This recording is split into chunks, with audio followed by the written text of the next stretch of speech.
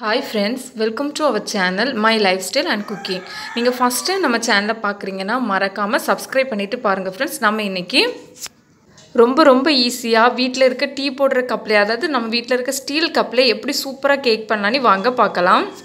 பாருங்கள் ஃப்ரெண்ட்ஸ் எவ்வளோ சூப்பர் சாஃப்டாக இருக்குது கேக்குன்னு ஓகே ஃப்ரெண்ட்ஸ் நம்ம இப்போ செய்ய ஆரம்பிச்சிடலாம். ஒரு க்ளீன் பவுல் ஒன்று எடுத்துக்கோங்க. இப்போ நம்ம இதில் வந்து கரெக்டாக ஒரு கப் வந்து மைதா மாவு எடுத்திருக்கேன். நீங்கள் மைதா மாவுக்கு பதிலாக கோதுமை மாவு கூட ஆட் பண்ணிக்கலாம். இதே ஸ்டெப்பில் வந்து பண்ணிக்கோங்க. ரொம்பவே சூப்பராக வரும் ஃப்ரெண்ட்ஸ் இப்போ அதை வந்து ஒரு அரிப்பில் ஆட் பண்ணியிருக்கேன். இப்போ இது கூடவே ஒரு முக்கால் டீஸ்பூன் வந்து பேக்கிங் பவுடர் ஒரு கால் டீஸ்பூன் வந்து பேக்கிங் சோடா ஆட் பண்ணிக்கோங்க. இப்போ இதெல்லாம் ஆட் பண்ணதுக்கப்புறமா நம்ம இதை வந்து நல்லா அரிச்சு எடுத்துடலாம். இந்த மாதிரி நம்ம இந்த அரிச்சு எடுக்கிறதுனால கேக் வந்து ரொம்பவே சாஃப்டாக இருக்கும் ஃப்ரெண்ட்ஸ் அதனால் ஸ்கிப் பண்ணாமல் பண்ணுங்கள் இந்த மாதிரி அரைச்சதுக்கப்புறமா இப்போ நம்ம இதை வந்து தனியாக வச்சிடலாம். இப்போ இன்னொரு பவுல் ஒன்று எடுத்துக்கோங்க. இப்போ இதில் வந்து நான் வந்து கரெக்டாக மூணு முட்டை வந்து எடுத்திருக்கேன். இப்போ நம்ம இதை வந்து இதில் ஆட் பண்ணிடலாம். இந்த மாதிரி எக்கெல்லாம் சேர்த்ததுக்கு அப்புறமா நம்ம வந்து ஒரு விஸ்க் வச்சு நல்லா பீட் பண்ணிக்கோங்க. ரொம்ப பீட் பண்ணணும்னு வேண்டாம் ஃப்ரெண்ட்ஸ் ஓரளவு பீட் பண்ணாலே நமக்கு போதும். இந்த மாதிரி பீட் பண்ணதுக்கு அப்புறமா நான் இதில் வந்து கரெக்டாக முக்கால் கப் வந்து பவுடர் சுகர் எடுத்திருக்கேன். அதை வந்து இதில் ஆட் பண்ணிடலாம். ஒரேடியாக ஆட் பண்ண வேண்டாம் ஃப்ரெண்ட்ஸ் ஒவ்வொரு டேபிள் ஸ்பூன் வந்து ஆட் பண்ணி நல்லா வந்து இந்த மாதிரி விஸ்க் வச்சு நல்லா மிக்ஸ் பண்ணி விட்டுக்கோங்க. நல்லா பீட் பண்ணிக்கோங்க. இந்த மாதிரி ஒவ்வொரு காவும் ஒவ்வொரு டேபிள் ஸ்பூன் ஆட் பண்ணி நல்லா வந்து பீட் பண்ணிக்கோங்க ஃப்ரெண்ட்ஸ் கண்டிப்பாக நம்ம ஆட் பண்ணியிருக்க பவுடர் சுகரும் எக்கும் நல்லா பீட் ஆகி வரணும். அதனால நல்லா பொறுமையாக நல்லா வந்து பீட் பண்ணி எடுத்துக்கோங்க.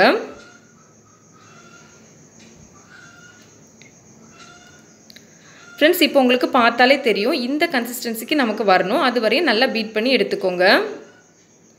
இந்த மாதிரி ரெடி பண்ணதுக்கு அப்புறமா நம்ம இப்போ இதில் ஒரு கால் டீஸ்பூன் வந்து வெனிலா எசன்ஸ் ஆட் பண்ணிடலாம்.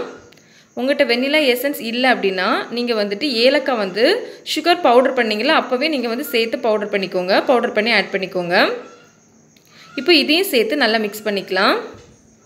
இந்த மாதிரி மிக்ஸ் பண்ணதுக்கு அப்புறமா இதில் ஒரு மூணு டேபிள் ஸ்பூன் வந்து நான் பட்டர் ஆட் பண்ணியிருக்கேன்.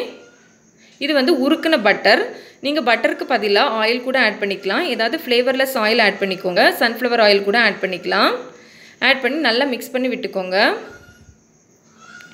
நம்ம ஆட் பண்ணுற எல்லாமே கண்டிப்பாக ரூம் டெம்பரேச்சரில் இருக்கும் இருக்கணும் ஃப்ரெண்ட்ஸ் இந்த மாதிரி நல்லா மிக்ஸ் பண்ணதுக்கு அப்புறமா நம்ம இதில் வந்து ஏற்கனவே அரைச்சி வச்சுருந்தோம்ல மைதா மாவு. அதை வந்து ஆட் பண்ணிடலாம். அதையும் இந்த மாதிரி கொஞ்சம் கொஞ்சமாக ஆட் பண்ணி மிக்ஸ் பண்ணி விட்டுக்கோங்க.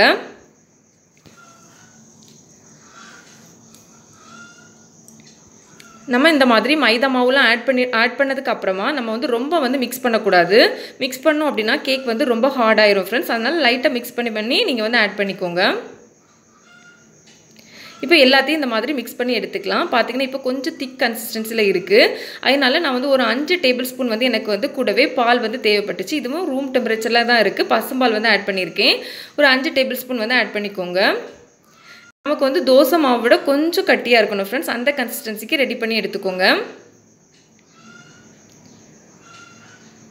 உங்களுக்கு பார்த்தாலே தெரியும் நமக்கு இந்த மாதிரி கன்சிஸ்டன்சியில் இருக்கணும். நம்ம இந்த மாதிரி எடுத்து விட்டோம் அப்படின்னா லைட்டாக மடிஞ்சு மடிஞ்சு கீழே விழணும். இந்த ஸ்டேஜ் தான் நமக்கு கரெக்டான கன்சிஸ்டன்சி இந்த மாதிரி ரெடி பண்ணி எடுத்துக்கோங்க. இப்போ நான் வந்து ஸ்டீல் கப் எடுத்திருக்கேன். அதில் வந்து நான் கொஞ்சமாக பட்டர் வந்து அப்ளை பண்ணியிருக்கேன். கீழே பட்டர் பேப்பரும் ஆட் பண்ணியிருக்கேன் ஃப்ரெண்ட்ஸ் இது வீட்டில் ரெடி பண்ண பட்டர் பேப்பர் தான்.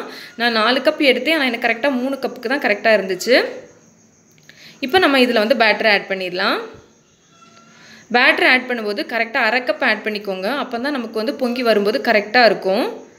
ஓவராக ஆட் பண்ண வேண்டாம். இந்த மாதிரி நம்ம இப்போ எல்லாத்தையும் ஆட் பண்ணி எடுத்துக்கலாம்.